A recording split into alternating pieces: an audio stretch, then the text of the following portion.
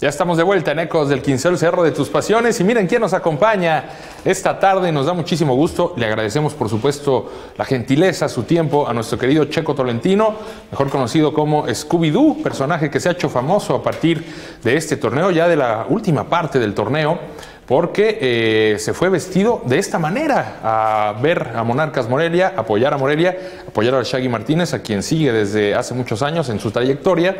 Y bueno, ya después el Shaggy lo conoció y a través de una cooperacha, eso me parece magnífico ¿eh? y hay que agradecerles a quien lo hicieron posible, a través de una cooperacha dijeron, Scooby, tú tienes que ir al Estadio León, tú eres el amuleto de este equipo, acompáñanos por favor al Estadio León y ahí estuviste, Checo. ¿Cómo ah, estás? Bienvenido a Ecos del Quinceo. Explícanos todo lo que pasó en León y vámonos por partes. Primero que nada, pues hay que agradecer ¿no? a los que se mocharon. Ah, ¿Cómo, estuvo que te fuiste a León? ¿Te dijeron ellos o qué pasó? Eh, por medio de un primo que fue que subió un estado en Facebook que dijo, oye, cooperacha para llevar Scooby a, León. Y pues no faltaron las personas que, que me quisieron ayudar. Entonces, fue un, en lo personal fueron más dos chavos que me ayudaron, que están en Estados Unidos, que se llaman Noé Villanueva y Alex Reyes. Alex Reyes y Noé Villanueva. Gracias de parte de toda la afición de Monarcas Morelia, ¿eh? porque a la gente de Monarcas, fíjate que se ha generado un fenómeno muy curioso, Mitch, Eder. La gente de Morelia le da mucho gusto verte ahí. O sea, a los otros aficionados no, no quiero decir que ya te vean como parte del equipo, pero por lo menos quedó demostrado en esta serie de la liguilla que están fascinados con tu presencia en el estadio. Te lo han hecho saber, ¿no? Sí.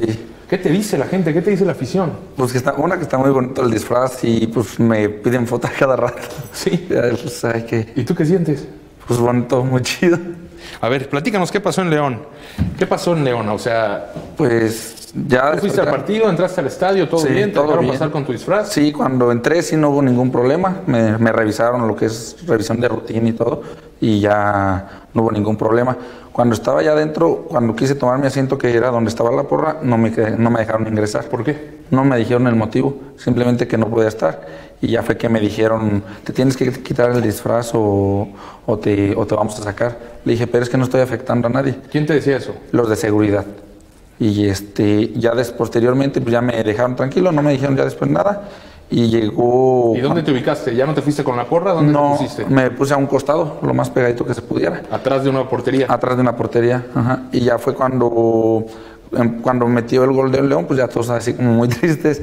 Pero cuando, cuando empatamos, pues yo grité y me subí a la butaca y festejé el gol, ¿no? Sí y fue como que ya estaban buscando un pretexto para sacarme, porque llegaron de, volada los de seguridad, lo que fue seguridad y policía fueron los que me, me llevaron, así que me maltrataron, porque pues hasta mi trajecito me rompieron. ¿Te golpearon? Sí, sí, ahora sí que no sale, mm, ahora sí no hay videos de eso, pero sí me, antes de que llegaran los videos que hay ahorita, este sí me maltrataron. ¿Cómo te golpearon, Choco? Este, llegó un chavo de seguridad por la parte de atrás y me prensó del cuello así, y los otros luego, luego me, Solo por festejar el gol. Sí, luego este, la misma afición de León, que es lo que quiero aclarar, que en muchos lados dicen que que ellos fueron, ¿no? Que ellos fueron y no es cierto. La afición de León, la verdad, se supo pues, mantener a la altura y supo perder. O sea, la, afición de León, esto es importante aclararlo. La afición de León, no te tocó.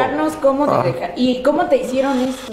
Cuando me quisieron así que hacer así la mano, yo no me dejé y fue cuando me la, me la arrancaron. Y lo demás pues, fue lo del cierre ya cuando me en el forcejeo pues ya me ya me estaba ya fue que tronó mi de hecho aquí está hasta el cierre de que ya me habían... Entonces, la afición de León, eso sí. Sí, me, me defendió. Ellos no te tocaron, te defendieron. No, de hecho, aquí en las imágenes se aprecia, Checo, una señora que es justamente la que, la, que, la que se ve molesta y se pone a discutir con un elemento de seguridad porque pues tú prácticamente no estabas haciendo nada. Es ella, es ella justamente, la señorita.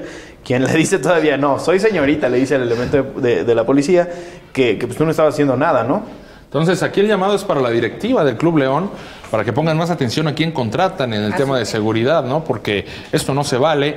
Eh, es un aficionado que, si bien le dan el acceso con el disfraz, entonces no hay por qué al interior del estadio amedrentarlo para que se lo quite, ¿no?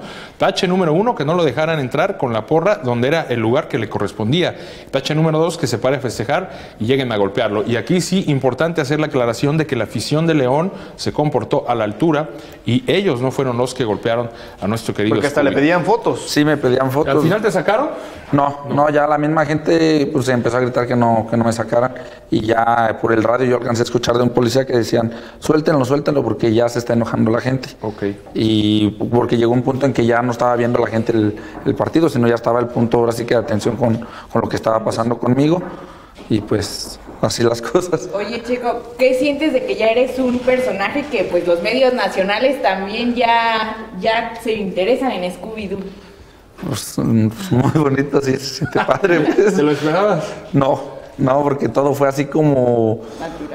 Pues casualidad, pues, o sea, todo se Una se- cosa se llevó a la dio. otra, ¿no? Ajá, se ¿Y dio. ahora cómo le vamos a hacer para que arreglar el traje? Pues, Pues- que también manden cooperacha, ¿no? Digo, Pues porque sí, así hay que tratar- arreglarlo. para no, tratar de arreglarlo. Porque no se vale, este traje es insignia. Por cierto, vi que la directiva de Monarcas te anda buscando para, para de- darte chance de pasar. Sí, ¿Ya- me, ya me- se pusieron en contacto sí, ya se comunicaron conmigo, Ah, me excelente. invitaron a- Eso me ¿Cómo- late. ¿Qué te van a Pues, dar? De lo que yo les entendí, van a hacer, me van a invitar abajo a, a cancha. Perfecto. Para Ah, con los muy bien. jugadores. Esperamos que nos sigas hablando, ¿eh? Sí, ya en la final. Ya vas a estar en el festejo del título, si se da. Sí, ojalá Así que sí. Ah. bueno, pues muchas gracias por acompañarnos, mi querido Checo. Nos vemos por allá el próximo jueves. Y va contra el América, ¿eh? ¿Vas a apoyar a Morelia? Sí. Muy bien, ¿eh? eso es todo, Checo. Mitch, Eder, Gracias. Marco, muchas gracias. Gracias, señor Laporta. Gracias a Adrián Martínez, a Gerson, Adrián, a toda la gente que nos acompaña en Ecos del Quinceo, Cerro de tus Pasiones. Los esperamos mañana, que tenemos mucho más ya para empezar a analizar la previa. Morelia contra América, próximo jueves, 8.30 de la noche, partido de ida. Nos vemos mañana en Ecos del Quinceo, el Cerro de tus Pasiones.